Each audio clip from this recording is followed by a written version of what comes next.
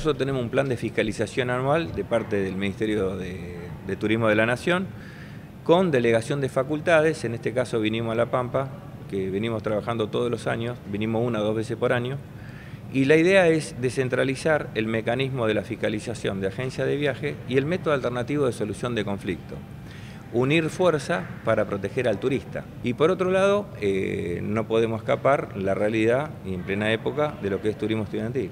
Turismo estudiantil que tiene un enfoque desde un punto de vista legal, nosotros protegemos el turismo educativo, tanto educativo como de egresado.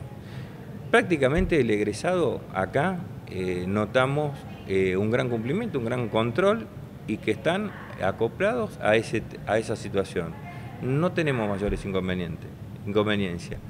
La problemática a lo mejor tenemos que empezar a definir el tema educativo, que se confunden los viajes educativos que se hacen como si fueran de egresados a Bariloche y Carlos Paz y deja de ser un viaje educativo si no pareciera un viaje de egresado. El que realiza viaje de estudio y viaje de egresado está contemplado en la ley, lo tiene que hacer a través de una agencia con certificado de turismo estudiantil. Eso dice la normativa vigente, la ley 25999. Ahí no cabe duda.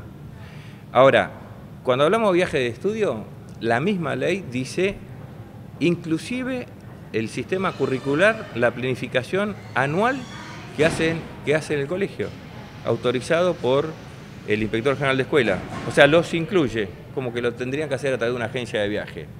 Ahora, a veces tenemos que ver que viaje, si un viaje corto, sin pernocte y demás, no cabe ninguna duda que por ahí no se necesita tal situación.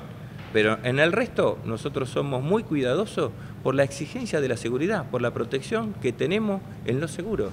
Por eso exigimos una agencia, porque controlamos cada papel de lo que traen en materia de asistencia al viajero, nosotros controlamos la ficha médica, vamos a ver qué comen los chicos, si hay comida para celíacos, o sea, todo en área de protección al turista. ¿Qué es lo recomendable o dónde tendrían que mirar o qué tendrían que exigirle a, a las empresas a la hora de seleccionarlo o decidirse por una o por otra?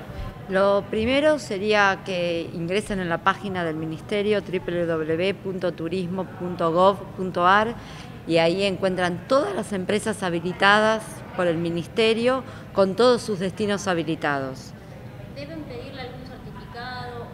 O, con que estén, no, no, no, que esté, ya están en la página significa que tienen el certificado estudiantil habilitante.